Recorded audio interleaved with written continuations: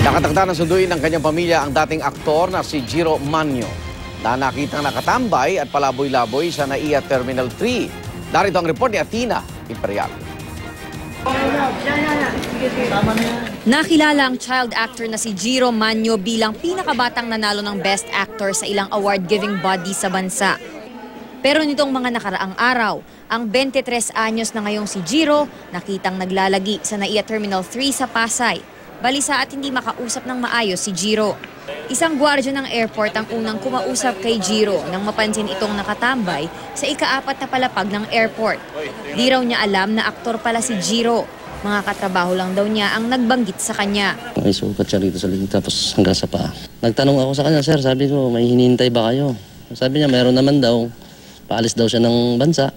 Hinihintay niya raw ng gano'n. So hanggang dumating yung gabi, nawala pa rin yung hinihintay niya. Pagpasok ni Franklin ng sumunod na araw, nagulat daw siyang nandoon pa rin si Jiro sa airport. Wala na siyang pinikwento. Tatanong lang ako sa kanak kung nasaan yung magulang niya. Sabi niya naman, nasa ibang bansa daw lahat. Wala raw siyang kamag-anak dito.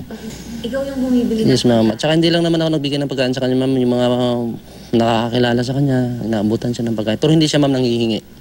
Nahihiya siya. over hindi niya kinakain. Hindi, ma'am. Hindi. Binigyan din daw niya ito ng damit maging toothbrush pero dahil daw nahihiya, hindi ito ginamit ni Jiro. Dala niya, ma'am, charger lang at saka headset.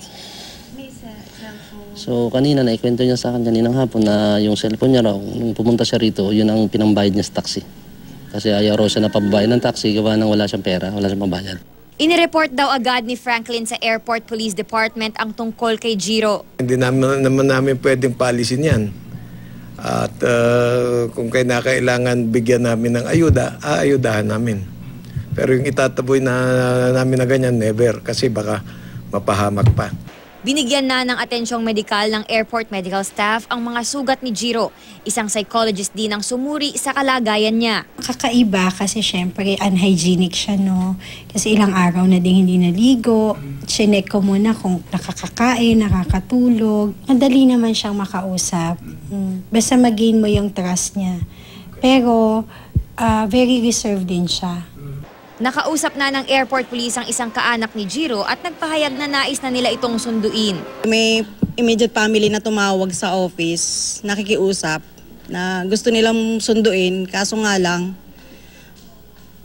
tanong ka agad, may media ba? Eh sabi ko, syempre, meron. Kaya, ayun, ang pakiusap, wag, wag silang i-media.